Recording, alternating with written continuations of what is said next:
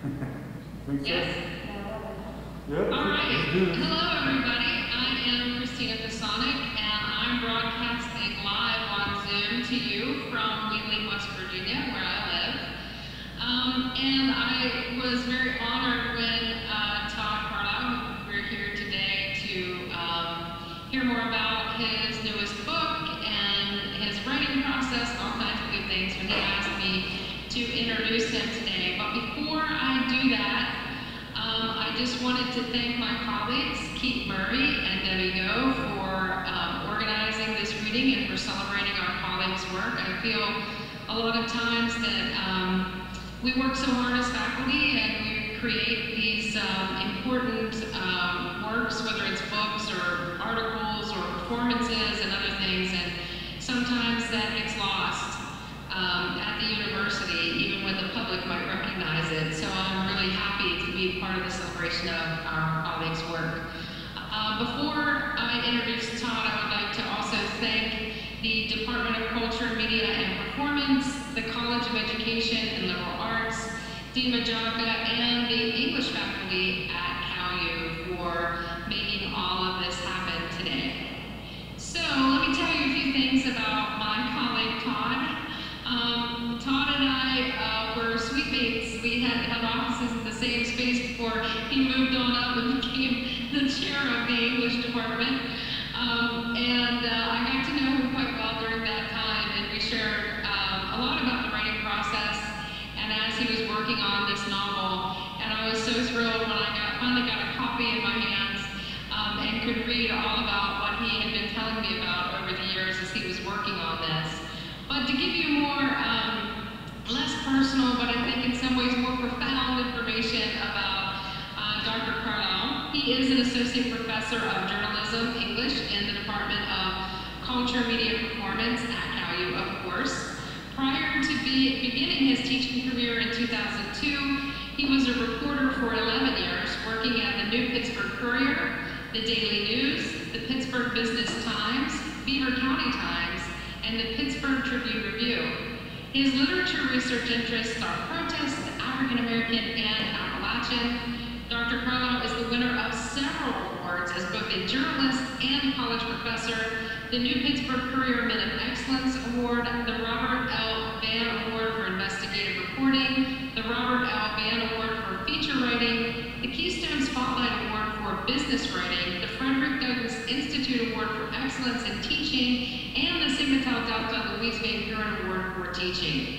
His novel, which you're going to hear about and from today, Souls of Clayhatchee, A Southern Tale, was published in May of 2021. He is an Army veteran serving 14 years in the reserves and deploying into the Middle East in 2004 as part of Operation Iraqi Freedom. He also does volunteer work as a member his fraternity, Phi Beta Sigma, and as a member of the Pittsburgh Black Media Federation. Today, before he reads from his book, he will be interviewed by one of his former students, Taylor Brown, who now works for the Mon Valley Independent and, of course, is a graduate of CalU. And we are always absolutely thrilled when our graduates return to us in whatever capacity. But today, she's going to interview him and ask him some questions about his work and his writing. So I'm going to be quiet now and disappear and let them do all the magic. Thank you all so much for attending.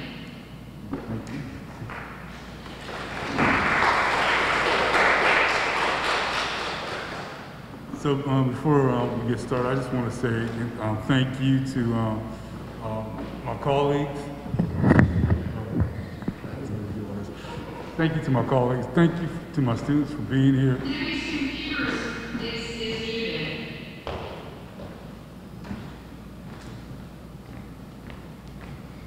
Can I go? So thank you all for being here. I appreciate it. I appreciate your time um, coming out um, for this. Uh, just putting this together, it's, it's, it's nice, it's overwhelming, and I especially appreciate my former student coming in to grill me. Uh, uh, I had her years ago, and um, she was a great student, Taylor Brown.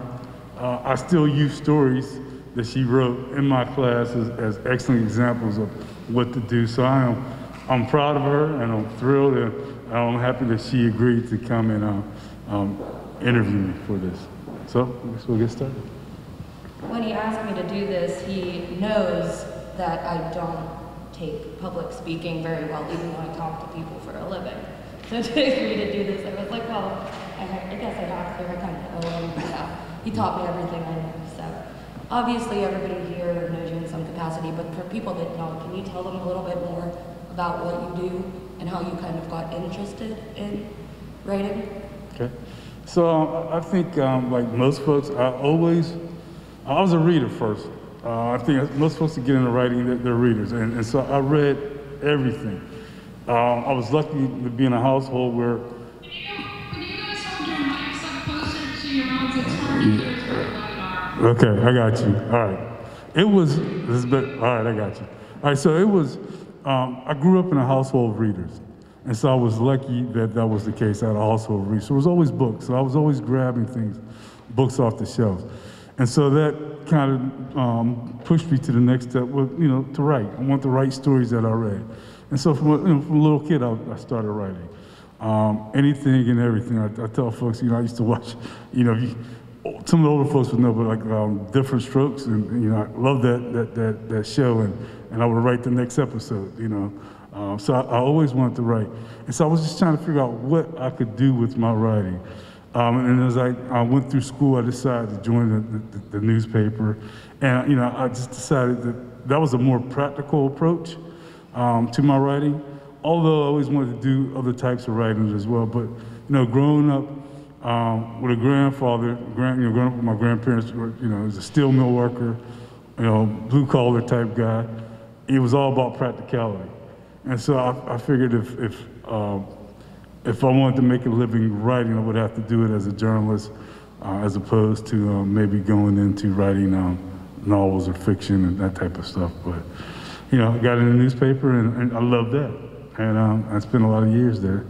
And, um, and I'm happy to be here at Cal. Now it gives me an opportunity to do more than one thing.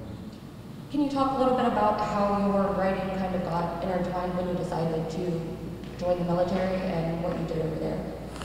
Well, I, I think um, when I was, I think we're talking about my deployment. During my deployment, um, and folks, you know, when you're when you're deployed, there's a lot of downtime, and so during the downtime, I do what I do. I, I read a lot, and I was reading um, anything I can get my hands on. I was buying, you know, buying whatever, and I was buying. Uh, I think I was reading a lot of um, uh, Walter Mosley, and I was reading a a lot of Eric Jerome Dickey, and I think I read Milk in My Coffee. And um, I thought it was funny. I thought it was hilarious.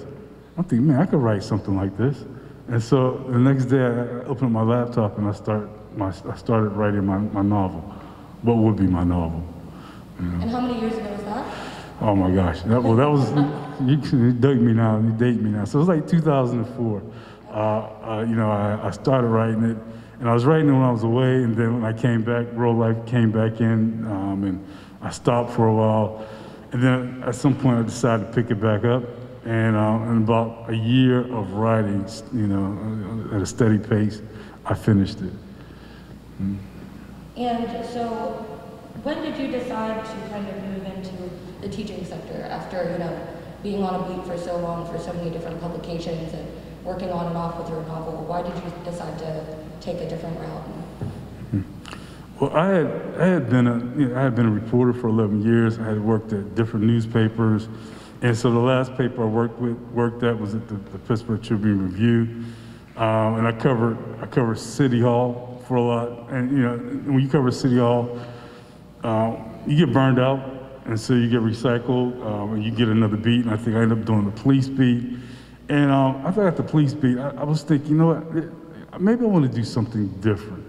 I wasn't sure, um, but I think one day I got on got on the computer, and uh, and I looked on Cal's site, and um, they had a job open, for, open opening for a journalism professor, and I'm thinking I could do that. I, you know, I don't know if I could do it. I had never done it. I'm thinking I could, I could, I could do that, um, and you know I applied, which was which was weird because I got interviewed by people that that were my professors.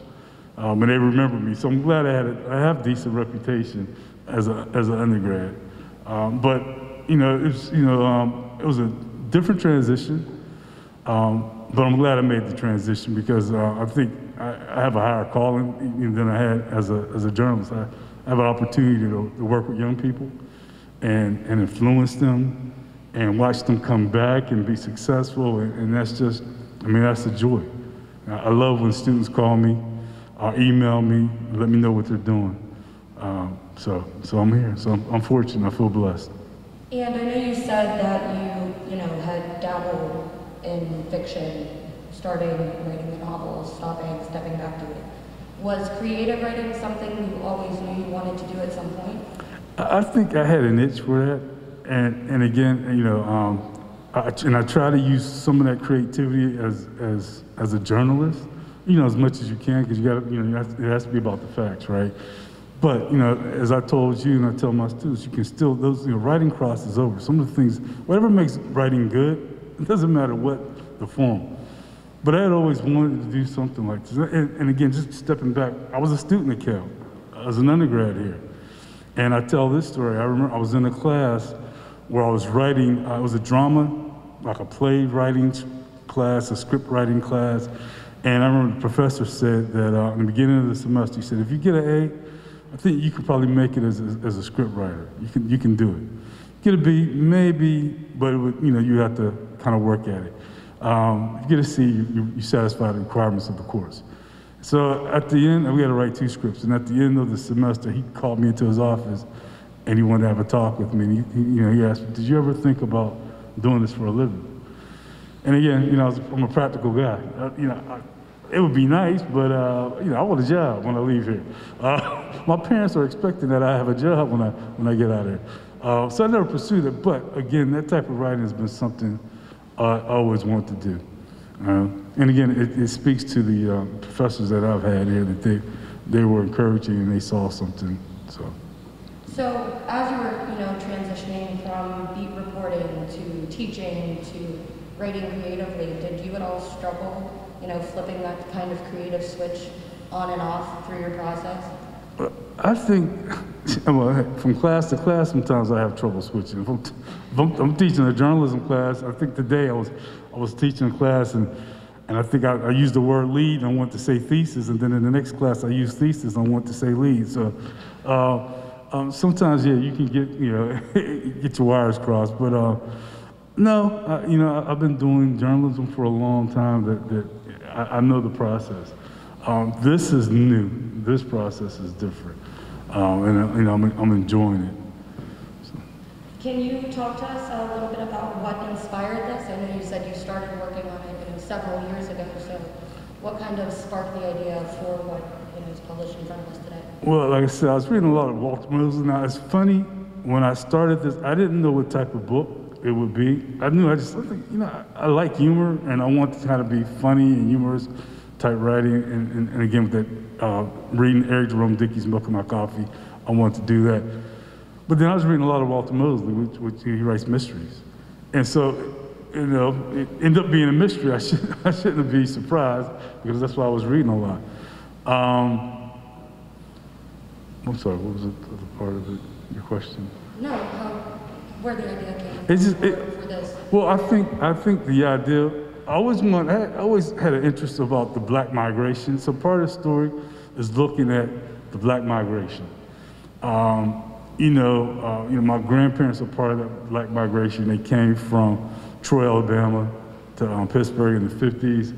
There was a community of, of black folks that, that, that, you know, expatriates of the South that kind of um, lived together, uh, socialized.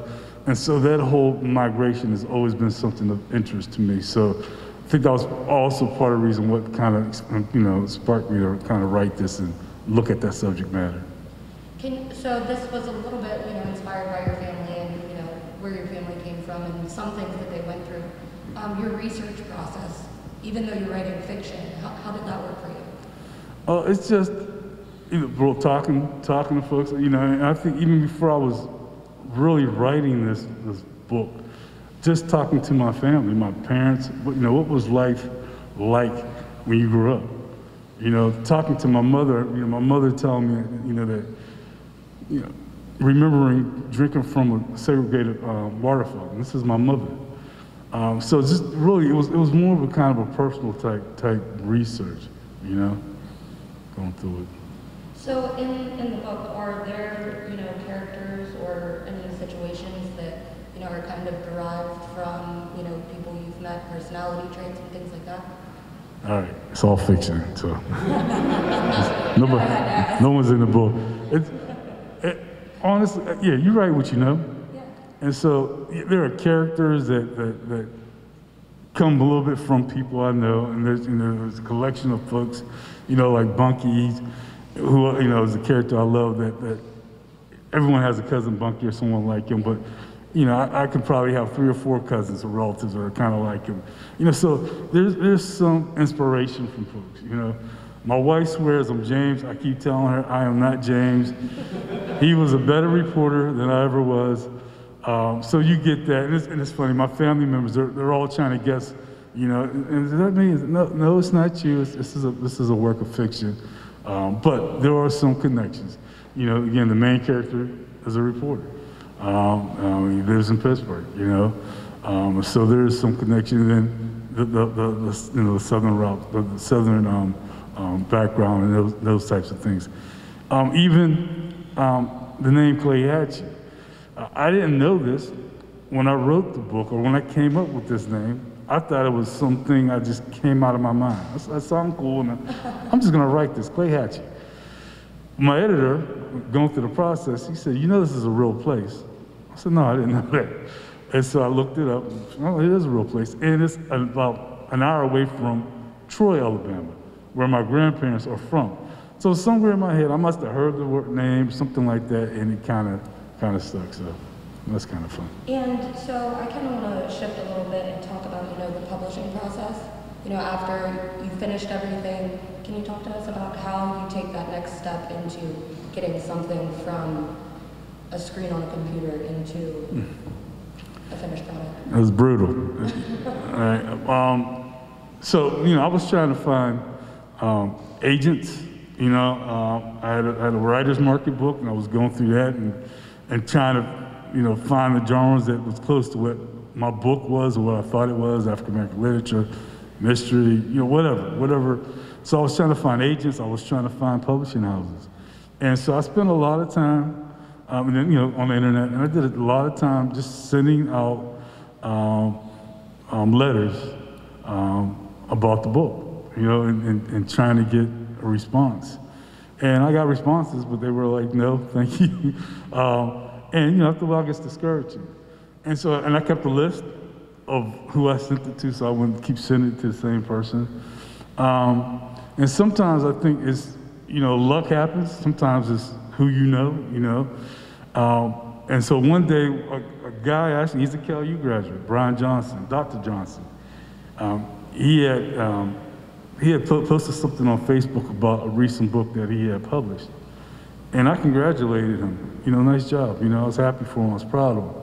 Then I sent him a, uh, a message and said, "Hey, uh, dang, I got a, I got a manuscript. I've been trying to, I've been trying to get it into the hands of, of a publisher. Uh, would you show it to your publisher? Would you, or no, I said, would you read it? I didn't even say, would you show it to your publisher? Well, he said, send, send me a, a synopsis. And normally, you know, synopsis is kind of a little short summary of, of the book. So I sent him a synopsis, and he said, "Well, you know what? This is kind of interesting, but do a chapter by chapter." And so I gave, I sent him a chapter cha- by chapter, and he said, oh, I, I like this. I'm gonna pass it on to, to my publisher." And he passed it on to his publisher, and I don't know how long later. It wasn't that much longer, and I got a call. Um, I got contacted somehow by the publisher, and um, he said he liked what he read and to send um, some chapters. And so I sent some chapters. So I was prepared. So I got, sometimes it's luck, sometimes it's who you know, you know. What was it like when you got the call that they were actually going to move forward and, and make this happen? I was in my car. I was coming home from work. It was a beautiful fall day in 2019. And he called me, and I wasn't sure he was saying what he was saying. I had to pull my car over. I was on the highway. I was going fast. I had to pull over somewhere, and um, and uh, it was just yeah, it was it was it was exciting. It was kind of an out of body experience. Like wow, this is this is happening. This guy is interested in this, and uh, I was I was extremely thrilled. You know, I had always wanted to get published. You know, at least once in my life to, to, at least have some book of, of fiction. Um, and so yeah, I was I was thrilled by it. And how has it been for you, you know, you know, over the last several weeks, getting to um, talk to people that's read it, getting their feedback, getting maybe their criticism? How's it been for you seeing this in other people's hands and hearing what they have to say about what you did? Well, let me say this. When you put something out there, and I guess anyone who's creative and people who put things out there or put themselves out there, it's scary as hell. It's frightening. Because now, you know, when you put it out there and it's your baby, you don't want anybody to call your baby ugly. And so, you know, you put it out there, you, you hope for the best. Um, and, and, you know, for the most part, the responses have been really good, you know, you know, but not everyone loves it, you know, and, and so you, you have to just, you know, everyone's allowed to have their, their view and their perspective. But uh, for the most part, it's been, it's been positive and and it's been, it's been reaffirming. Um, and I'm enjoying it. It's, it's different, you know, because as a writer, you just think about the writing. You don't think about anything else. And it's the whole thing after the writing. It's the marketing of it. It's the using social media. It's um, you know getting your, your page up, your branding. You know, which as a journalist is kind of opposite of how we how we think. and it's awkward. And being interviewed, you know, it's, it's kind of weird. Like, hold on, I'm, I'm supposed to be asking you questions. Uh, why are you asking me questions? Uh, but it's it's fun, you know. So I'm lucky. I, know, my, my daughters are really good with social media. They're really good with marketing. My one daughter here, Amaya Carlisle, and, and Ariel, they've been helping their old man with, with things. in fact, Amaya took the picture that's on the cover, and her sister um, did the editing. So um, they've been really helpful for that. So it's just it's, it's a learning curve, you know. I mean, I'm enjoying it. You know, podcast. I had never done a podcast, and uh, and, uh, and it's, you know, it's been fun. So I'm just, I'm open to, to the process. And um, I think it's something everybody's probably curious about. Um, as stressful as it was, you know, getting from point A to point B, and as long as the process was, with all the ups and downs, is this something you think you might want to try again with uh, another story? Oh, oh, absolutely. Yeah, I got to. Yeah, I got the bug now. I've been bitten. Didn't you tell me that? Like once it gets in your blood, there. Once, once it gets in there. So yeah, absolutely. I have, I have some ideas um, that I'm thinking about. And then, you know, folks have read this book. They've connected to the, the characters. And, and so they've said, oh, are you going to write something else with these characters? And so I had thought about it, but now I'm thinking more and more uh, about maybe doing something again along, uh, maybe a sequel or something or a prequel to, um, to this, this story. Very cool. And I, I think I'll wrap it up. I think people probably want to get to you and hear a little bit more about the book from the book itself. But um, being that you have a lot of students here, I'm not sure who's watching online, but um, you know, advice for them. Maybe if they're you know working on something in their spare time, or if they want to get into news, or even the more creative aspect of it, some tips. Uh, I would say again, and I always tell students that you know here's the time to to work on your your craft, hone your skills, um, you know work on your things that, that, that are your weaknesses, work on them now, um, because we're, we're, kind of forgiven here. Uh, you, you, know you're allowed to make mistake, mistakes here, but work on the things that are going to improve you. Um, if you're dedicated to something, to some type of you know writing or whatever your passion is, you know, then go for it um, go full out. You know, do the best that you can, and, and you know, um, don't listen to naysayers, even if the naysayer is you, because sometimes we can talk ourselves out of doing things. Uh, we don't think we're good enough, um, and, and a lot of times you are. I mean, you are good enough, and so. Again, you know, just if you have a passion, you have a desire to do something, you know, work at it, work at it, work hard at it, believe in yourself, and things will happen. Things will happen. And I think, I think with the book, you know, um, although I was getting told no, no, no, I thought that I wrote something pretty decent. And I had enough belief, and I thought I wrote something decent that somebody would, would want to read it. And so I never gave up the hope that, that, that it would be published. And so again, you know, you know, stand firm in, in, in, um, in the things you want to do, and don't let folks um, dissuade you. Thank you so much. Thank you so much. Oh, you're welcome. Oh. Thanks for asking me to come and letting me put you in the hot seat. Appreciate it. I guess I'll, I'll, I'll read now if my computer's up, I'm hoping.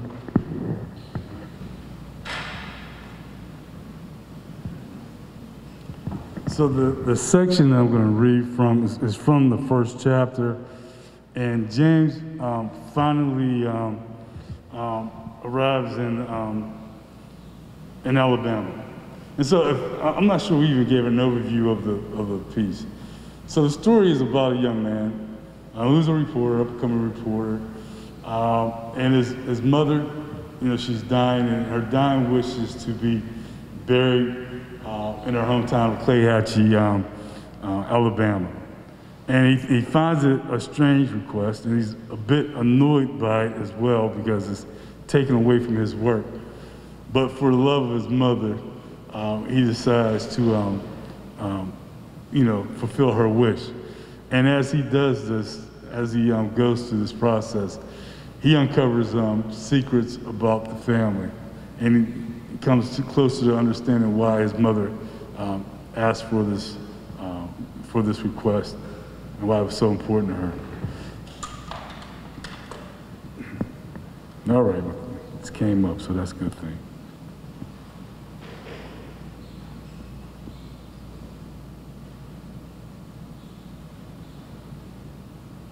So I've done this. I haven't practiced reading this with my mask on. I probably should have, but uh, we'll, we'll go from there. All right.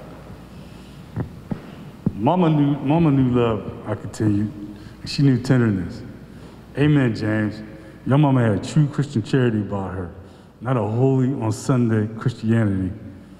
Have you heard the story of Jughead? I asked. Jughead? No. Jughead was this white man in his early 30s who used to ride around on a bicycle. Seriously, he was the foulest, nastiest bum in town. One day, Mama asked him if he were hungry. He said yes. She fed him. Puddin would feed anybody who needed a meal, said Aunt Dee. Well, she also asked him if he needed a place to stay and welcomed him into her home. He stayed for six months. Lord, bellowed Aunt Dee. One day when Mama was um, doing her errands, Daddy had a heart-to-heart um, with Jughead. When Mama returned, Jughead had moved, moved on out. Mama cried. That's how she was. Your daddy certainly could be persuasive, Aunt Dee said. I laughed, I laughed with her, uh, earning another hug. The South calls for a slower tempo. I hadn't looked at my watch once, and we hadn't moved from our spot on the front porch since I arrived. Boy, when was the last time you had a home-cooked meal? You've probably been living on that fast food mess since you left your mama's house, living up there in that New York. I know you haven't had any real down-home food in a long time. Go on upstairs and freshen up. I'll get you some real food. I walked up the narrow steps. Um, on the walls leading up to the top family pictures, cousins, aunts, uncles, and my immediate family. There was a black and white picture of my mother with a rag on her head and sandals on her feet. She could have, she couldn't have been more than 16 years old. She was thin. She had a slight grin on her face, and she tilted her head to the right side and placed her hands on her hips. On another wall hung a picture of 20-something daddy in his army uniform, holding two fists in each arm. I couldn't make out the brand of spirits, but if I had to guess, he's probably carrying Canadian Windsor. That whiskey sat on our shelves in our homes as long as I could remember. Dad stood tall, thin, and confident with a rare smile on his face. Under that picture was a photo of my siblings in their Sunday best. Francis looked to be six, Mark four, and Cecilia two. I had always loved that picture for some reason. Mama had the same picture of those three hanging on our wall at home. James, hurry on down before that food gets cold, Dee yelled. Here I come, Auntie.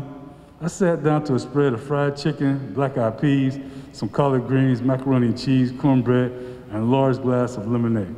Aunt what am I gonna do with all this food? You gonna eat it, boy? Uh, you haven't gotten that big that I can put a hide to your butt. Oh, please don't. I haven't forgotten the last time you put a hide to me. I like my hide the way it is, bruise free, bruise free, I said. You know, you know they put people in jail for that now. Aunt Dee replied with a laugh. My God, I could tell you, you have enough food here to feed an army. First, boy, stop using the Lord's name in vain, she scolded. You trying to get your butt whooped? Sorry, man. So how's Bunky these days? Well, you know your good-for-nothing cousin Bunky lives down the street with his go- good-for-nothing woman. Isn't that his wife? Don't interrupt me, child. She's his common-in-law. I guess you can call Gloria his wife if you want to use those terms. I know he's taking care of her children, three children with diff- three different men. I told Bunky, I don't know how he's going to take care of her three children with the two children um, that he has with Laura. Bunky works at that water plant now, and all his money is going to child support. for his own children. That boy is just hard-headed. Been that way all his life. I should have beat his ass more. Oh, Aunt Dee, I said, surprised. I don't know why. Hey, you act like you ain't heard me cuss, she boomed. I might be a Christian, but I still cuss like a sailor. Pray for me, child. Bunky should be on his way soon. Bunky's Aunt Dee's youngest child. Um, he's five years older than I am, and he's a mess. Bunky's the type of mess that you thought was cool when you were a teenager and you didn't know any better. He made drug using and selling seem cool. He made juggling four or five girls seem cool. He made being a teen father seem cool. Auntie, Auntie called him a 34-year-old wannabe playboy. When talking to him on the phone occasionally, I knew he had moved beyond adolescent much in action and attitude. Bunky still talked junk, he still spent all his time chasing women. He still slanged dope even with his municipal water plant job. He was still a mama's boy. From what I gathered from Aunt Dee, Bunky stayed right around the corner from her house, close enough to move back in if, if, with his mom if his old lady got tired of him. It appeared that all, all the family members uh, remained close to home. In fact, two of Aunt Dee's children live in a block with their grown children. As they all started to come in to see their northern cousin, it did not take long for me to become dizzy with introductions of cousins, aunts, uncles, and friends of the family. A blur of faces, kisses, hugs, and smiles danced in front of me as people faded in and out all afternoon. When you get in, James, Aunt Earlene asked. Aunt Earlene actually was my cousin, but she seemed so much older that I just always called her aunt. She was Aunt Dee's oldest daughter, with quite a few years on her younger brother, Bunky. Earlene had to be at least 55 years old now. She gave me a big hug, a kiss, and smothered me with her, full, uh, with her fluffiness. She was round, soft, chocolate, and she had hair on her chest. Still, I remember that as a kid when I first saw her. Her standing her bearded chest, Aunt Earlene still had an attractive face. The rumor was she was fine in her youth, men chasing after her like bees to honey. Today she was just sweaty with a do-rag on her head. Boy, you've gotten so handsome. I'm sorry about your mama. Putin was proud of you. Jared was proud of you too, even if he didn't say so. Jared was my father's nickname. Never knew what the R stood for and never thought to ask for that matter.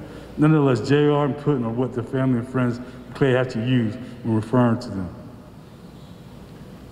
That Uncle J on Putin's youngin'? Cousin Willie asked. What up, boy? Seeing my hesitation, Aunt Earlene jumped in. Willie said hi. She giggled. Oh yeah, I remember Cousin Willie. Earlene's oldest child was two years older than his mother's brother, which meant Bunky was Willie's uncle. I never could understand Willie when I was a kid, and nothing had changed. All these relatives were country, but Willie was country. Damn. Hey, Willie, good to see you, I said, dapping up my cousin. Look at you, big time city reporter, Aunt Earlene continued. So are you on television? No, Aunt Earlene, I'm a print journalist. I work for New York Times, New York Daily, Daily News. I write about politics. I guess that's good too, Aunt Earlene said, still smiling or maybe smirking, I couldn't tell. Whenever someone found out I was a reporter, the first thing they asked me was what television station I was on. Couldn't a brother just write? The next question was always, do you write about sports? Couldn't a brother just write about something other than sports? I was spared from the sports question because at that moment, Bunky sauntered into the house, cornrows and all, announcing his arrival. Bunky in the house, he said, kissing relatives as he walked past. Then he saw me. Is that my little cousin from Pittsburgh? Damn, boy, you ain't so little anymore. In fact, you look a little chubby. Just plain, man. Good to see you. Sorry about the circumstances, but it's damn good to see you again. He said as he pulled me into him. My southern families were huggers. He has gotten big, Aunt Earlene said. James was just a squirt. He has meat in his bones now. He's so handsome. Bunky, your cousin was telling us about his big time job working for the newspaper. Bunky stepped back, looked at me. He still had both of his hands on his arms as if to inspect me better. And by the look in his eyes, I knew what he was going to say next. What you cover? Sports? Bunky asked. Damn, really? Have you met Michael Jordan? How about Barry Sanders? I tried not to roll my eyes, but it was hard. I don't cover sports, I said as I took a seat on Aunt Dee's animal pattern couch that sagged in the middle. I cover politics, city council, mayor's office, local government, state and national elections. I guess you haven't met anyone famous, Bunky said with a hint of disappointment in his voice. No, I've met plenty of famous people. Bill Clinton, Jesse Jackson, Colin Powell, Mayor Rudy Giuliani. Bunky didn't seem impressed, so I threw in Jamie Foxx, Tisha Campbell, and Ice-T. Now you talking, cuz. Is Tisha as fine in person as she is on TV? That boy, that boy Martin Lawrence is crazy, acting a fool with that girl driving her from that shit. That nigga crazy. Hey, hey, hey, hey, I don't want to hear any of that, Bunky, Aunt Dee said, leaning forward as if to get up. Sorry, man. Tisha is fine. Yeah, she is. In fact, she looks better in person. I miss my days covering entertainment. But politics is exciting in a whole different way. Politics, Aunt Earlene, said, curling up her lips. I know you keep a headache. Can't trust any of them, Democrats, Republicans. Well, I'm glad to see you. Wish it was under better circumstances, but you're home, and your mother's home now, too. You met Ice-T? Bunky interrupted. He's on that show where he plays a cop. How's Ice-T? Ice-T is cool, I said, pun fully intended. Bunky slapped me on my shoulder. We got a regular celebrity in our house, Mama, Bunky said to Aunt Dee. Boy, leave that boy alone, Aunt Dee admonished Bunky, who was grinning wildly with a gold tooth in full view. Nah, I'm proud of him. I'm proud of him. I want to show him off to the hood. Bunky said as he turned to me. Hey, James, you want to take a ride with me? I have to take care of a few things and I won't take long. Do I really want to ride with him? Who knows where he's going to take me? I avoided dives and drug homes since graduating from college. I wasn't being bougie, but I just didn't think of any other places Bunky um, would take me. That's my man, but I haven't forgotten his propensity for the seedy. Well, what the hell? Sure, let's ride. Aunt, Aunt Dee and Earlene seemed to create a fortress of flesh, flab, and determination in front of the door with matching sets of folding arms and disapproving eyes. Bunky, where you taking James? Aunt Dee said, don't be taking him to any of those rough projects, to any of those host girls' houses. In fact, James just arrived. Let him sit a while, let him rest. Start dragging him around all over town. You ain't taking him to any whorehouses, Aunt Earlene chimed in. Would y'all just chill? Myth Bunky said, I got my cousin. Only respectable places. I'm fine, ladies, I said. Bunky turned to his nephew. You wanna ride, Willie? Nah, I got some business. Bunky glanced my way. If you didn't quite catch that particular dictional flourish, Bunky deadpan, Willie said no. Well, maybe, uh, maybe we could get out and see the area where my parents grew up, I said to Bunky. Mama talked about this place all the time. Okay, I guess it'll be all right, Aunt Dee interrupted. Y'all be careful. Take care of your cousin, Bunky. Nothing to worry about, Mama. I won't keep him long, Bunky said as we walked out the door with his arm around my shoulders. Bunky led me to his classic 1994 white Cadillac. I could tell it was his pride and joy by the way he approached it, majestic like. Bunky had the ride souped up, new stereo system, shiny rims, woofers in the trunk. He put in a Ludacris CD. You ready to see the dirty, dirty South? Bunky asked as he blasted Ludacris, a little blunt. I'm ready. Thank you.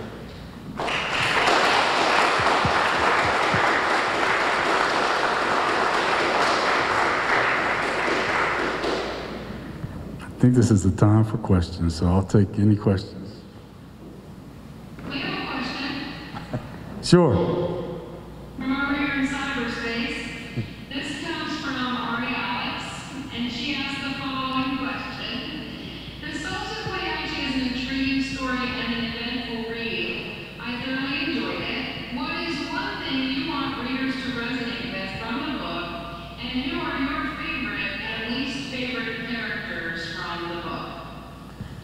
All right, so the thing that I want people, I want to see that resonates from this book is that, you know, the story is talking about ghosts, you know, um, with souls, ghosts, and things that we haven't dealt with.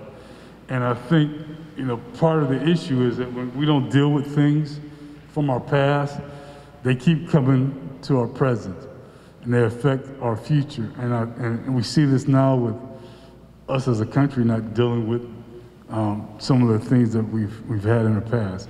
And so it kind of plays out. I didn't think I was writing that type of book, but, um, but I did, you know, and, and again with, um, with the main characters, you know, really um, the implication of not dealing with things in the past because if you don't, um, they're gonna, they're gonna affect everything else. Now, the characters that, that resonated with me, I mean, I Bunky James, you know, just, uh, I just, I, I enjoyed those, those characters. Um, James, because again, you know, um, he's a reporter, a lot, you know, he reminds me a lot of me, but he's not me. Um, but, um, and, and Bunky, Bunky was just, especially Bunky.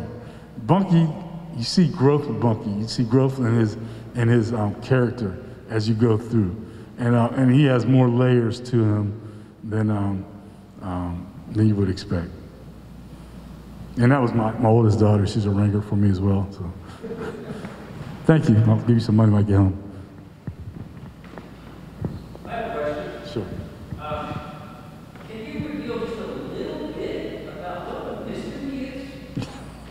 No, I, uh, I cannot.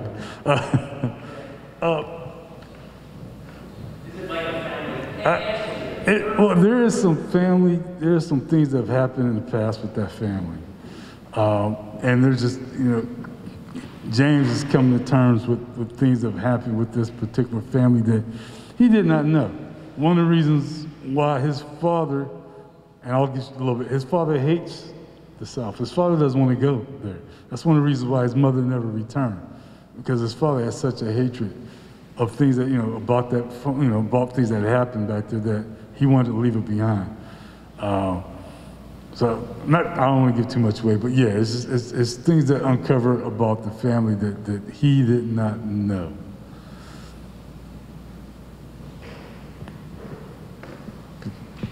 Come on.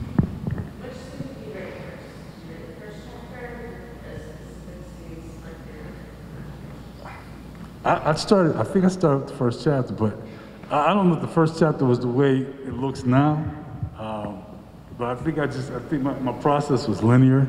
I don't, I don't think I started somewhere and I came back. So I, it was, it was fairly, well, it was linear because I didn't necessarily knew, I didn't know where I was going.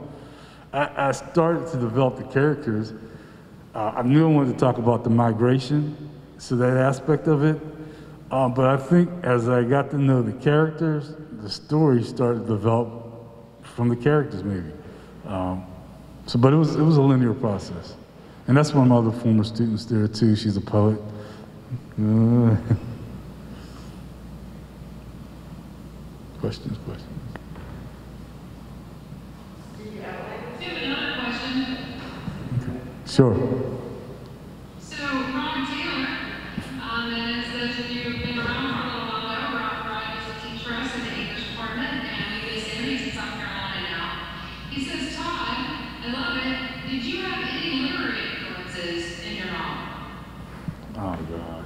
I mean, I mean the greats, you know, uh, Richard Wright, you know, James Baldwin, you know, Toni Morrison, Alice Walker. Um, I'm starting to read some new guys like Damon Young now, um, but the classic folks. Um, I've been reading, reading and teaching. Um, so yeah, that's that's about it. Colton wife. Um, yeah. So you have a lot of dialogue and you have narration too. Was one easier or more difficult to write than the other? Dialogue when I was trying to do Southern dialogue. That was that was hard, and um, and I, I went back and when I submitted, you know, the publisher, you know, he said "Hey, you need to you need to make it more Southern. I'm thinking I don't know how to talk Southern, or I don't know how to write Southern, and then you know then uh, you're, you're writing. So as a as an English professor. Um, you want to write properly, so then you're, you know, you're going against the grain of trying. Okay, this doesn't seem grammatically correct, or this doesn't, whatever. So it was, that was more of a battle, was the dialect, and trying to get the dialect as right as I could. You know, so I'm, I'm trying to listen to people. I'm trying to Google like, how do Southern folks sound? Um, so that was some of the research as well. So, um, yeah. The narration, the story, I think was easier, but the dialogue, and wanting the dialogue to sound sound real, you know.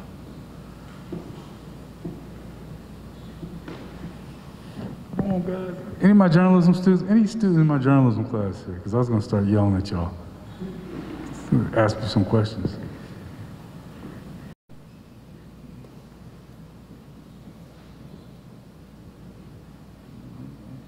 Just here for extra credit. That's it. The bonus points. Bonus points are coming Monday. It'll be there. Yes.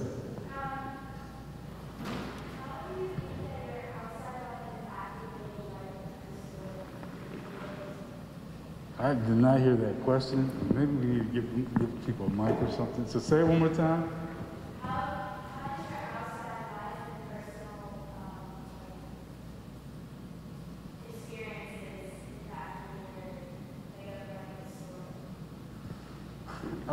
I, think again, uh, you know, even without trying, who you are, you know, your experiences, they just they bubble up. You know, they they're going to impact everything you do because this is what you know.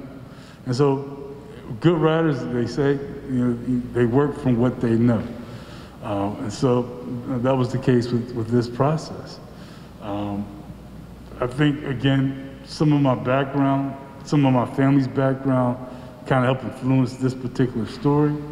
You know, again, that migration from the South and what it's like, and, and also the tension um, between um, Southern relatives and Northern relatives, the tension between relatives who are um, maybe not as educated as you are, you know, so you see that, you know, with, even with, you see that with the writing playing out, with a lot of African American literature in the 20th century and the 21st century, where African Americans start to move up. And so again, family members kind of moved away or in a different bracket than the other family members because some of them didn't, they got left behind. Uh, so kind of, you, you kind of see that tension a little bit in this book as well, you know.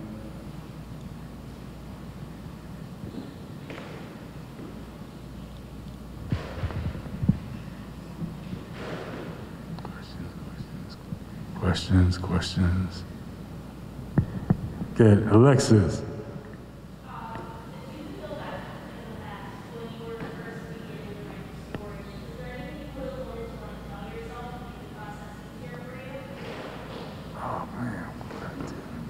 That's a really good question. What would I tell myself to make a process? I don't know what I would tell myself um, because I think just with everything I've done in my life, I've always kind of just jumped into things, you know. Uh, I I don't know if I would have given myself some advice. Um, I mean, it's been my life. I joined, you know, I, I tell the story with the military. I joined the military like a day after, like I met, I came, it was my sophomore year, and I wanted to talk about, about the reserves, and I went to the ROTC building just because this was an Army guy, and, um, and I just wanted, inf- I just wanted information.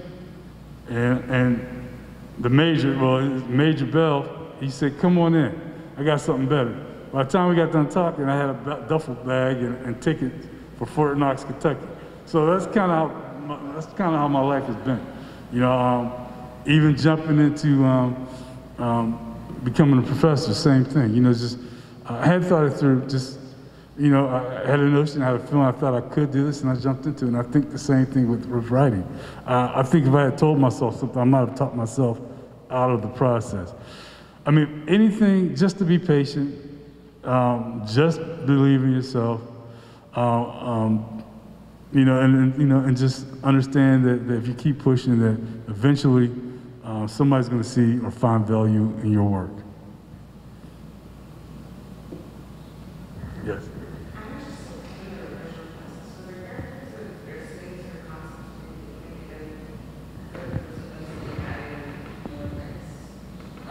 I'm sorry, I can't hear. Say it again.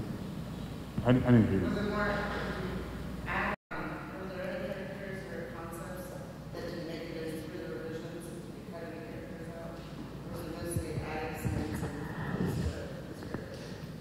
Uh, yeah, some things. Uh, I think when I wrote the book, I made I made James a little more judgmental, and I attempted to, to cut some things out. I didn't cut as much out, and I think if, if uh, going back to the other question, if I had something to do, I would say, hey, maybe check James a bit, because James gets on his high horse a little bit, and he starts to preach. And, and, and when he preaches, sometimes he doesn't think about uh, systemic issues. Uh, and I think I was a little heavy handed one way with James. And I went as much as I could to kind of um, bring that back. I didn't go as far. Uh, but if I had to, I think, yeah, if I had to start the story again, maybe I would have looked at that differently. All right.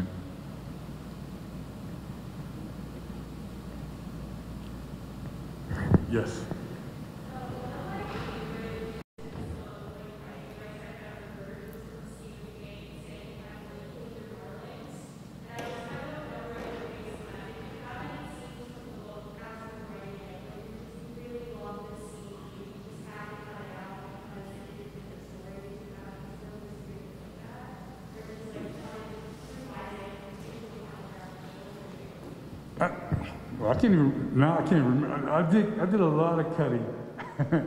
Um, And so I did, part of the book, there's a lot of flashback.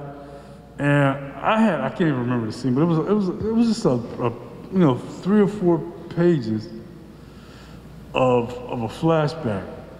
And the editor said, um, we got to cut it. And I'm thinking, why? It's, it's pretty good. And, and, and he gave me his reasons why. And um, I didn't really fight him on it, but I, I thought it was, it was pretty good. So, I mean, sometimes you have to not, you know, can't fall in love with your writing because, you know, there's the revision process. And, you know, I think it's better that because the story is, is leaner, um, people can get through it. Uh, but I thought that was a pretty important scene, but I guess it wasn't that important because, again, the book works well. So I think the lesson is again, just you can't fall in love with, you know, you're, you're going to revise. You're going to revise. You have to be open to that revision and do it often. Every time I thought the book was done, you know, uh, it was more revisions. You know, just do this, uh, do that. Okay, I thought we were ready to go. That's just part of the process.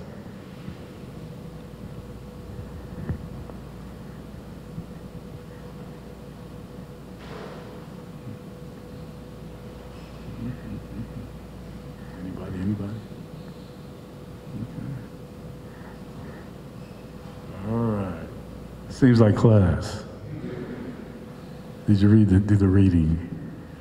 What do you think? What are your thoughts? Talise, what you got? I know, I know Talise got, so I'm calling Talise out. I'm calling Talise out. She's in my comp class.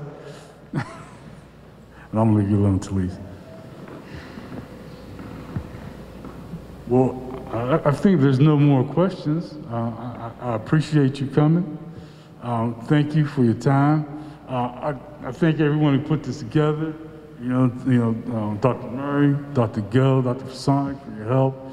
Thank the tech folks. You know, um, um, it just it, it, it warms my heart that, um, that you thought enough of me and of my work to to do this. So, so thank you guys for coming in.